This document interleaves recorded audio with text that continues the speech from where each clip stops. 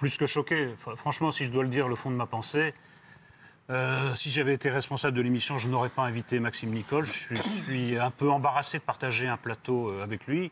Je le tiens à la fois pour un individu très dangereux, je le tiens à la fois pour un pauvre type qui a exploité la crise des Gilets jaunes pour devenir un gourou. Oui, non, mais ce que ses capacités naturelles ne lui auraient pas permis de faire en d'autres euh, circonstances.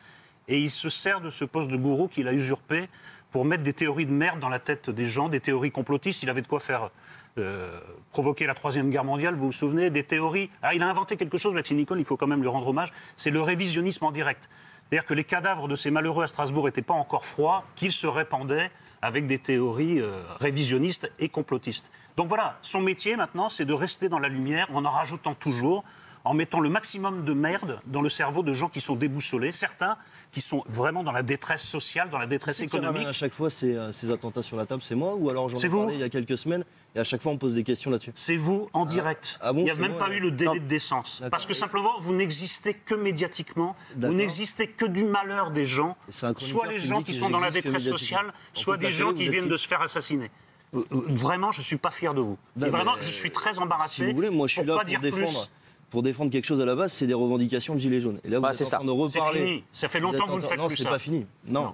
Vous Ou faites alors- le buzz alors, avec c'est des que- théories complotistes Ou et alors c'est que vous révisionnistes. regardez les chaînes de mainstream, mais bon, c'est pas après, c'est votre droit. Vous avez le droit de regarder les chaînes d'information vrai que vous voulez. Moi, ça fait des semaines que je rabâche euh, les revendications des gilets jaunes et euh, vous faites les sourdes oreilles en essayant de C'est vous un arrêter sur. Prétexte. C'est un Peut-être, Les gens prétexte. qui les gens qui crèvent la dalle dans ce pays, c'est un prétexte. Oui.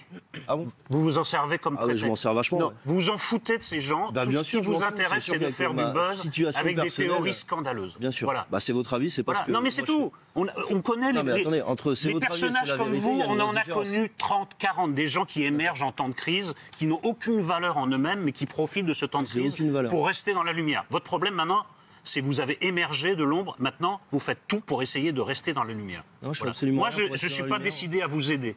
Très simplement. Mais j'ai pas besoin de Et ce que vous avez dit, ce que vous avez déclaré. j'ai- besoin de l'aide de personne en fait. La seule aide euh, que j'ai, c'est le soutien des gens qui considèrent que ces Vous les revendications. abusez. Mais je les Vous faites comment semblant d'être de votre côté, mais vous exploitez leur malheur et leur misère. Vous êtes un imposteur, monsieur. Bien sûr, c'est votre Vous avis, êtes un imposteur. Un jour, ça éclatera au grand jour. Pour l'instant, vous abusez encore des gens. De moins en moins, j'ai l'impression. Mais les derniers vous lâcheront. Et vous vous retrouverez seul avec votre conscience Bah, votre et, votre petite machine à buzz qui tournera à vide. Voilà. Bien sûr, une machine à buzz. C'est Oui. vrai que Vous la, êtes une la machine à buzz. des gens, c'est une machine à buzz. Vous en faites un Vous êtes buzz. pitoyable avec votre façon de voir. Mais vous en faites un buzz, c'est pas moi. Bah moi, non, je respecte, j'en fais pas un buzz. je respecte la samedis, misère de ces gens, vous, vous ne la respectez pas. Tous les samedis, par exemple, je suis en train de manifester avec les gens devant Bah, les évidemment, il faut vous donniez le change. devant les canons à eau Bah, Il faut que vous donniez policiers. le change. Bah, vous n'allez pas rester chez vous. Venez avec moi le samedi devant les canons. à eau, Non, j'ai pas envie d'être avec Ah, vous. C'est déjà pénible d'être avec vous ce soir. Ah, donc je vais écoutez. pas y passer en plus mon samedi. Je vous le dis Si vous voulez, peut-être. Et le nombre de fois où vous êtes euh, avec Monsieur Zemmour, c'est pas pénible? je, je comprends pas là, franchement. Le nombre de fois. Daniel Simonet, conseillère France Insoumise. Il a tenu des propos Alors- révisionnistes. Il Alors- a... Il a été condamné pour incitation à la haine raciale. Est-ce que Maxime. Nicole a été condamné pour quoi que ce soit Moi, je parle pas de Non, ça. non, je parle non, de révisionnisme. Il a été condamné. Hein. Écoutez, S'il vous plaît, si vous voulez débattre avec Zemmour, invitez-le dans l'émission, je débattrai avec Zemmour. Pour l'instant, à mon grand regret, à mon grand regret, l'invité, c'est Maxime Nicole. Si vous voulez Alors, c'est pas l'invité. L'invité, c'est pas que Maxime Nicole. En C'est c'est tous les intervenants qui C'est sont plus là. Maxime Nicole que Zemmour. Et moi, et moi, Eric, euh, Eric, je vous dis un truc. Je, euh, je préfère avoir, je préfère discuter avec les gens.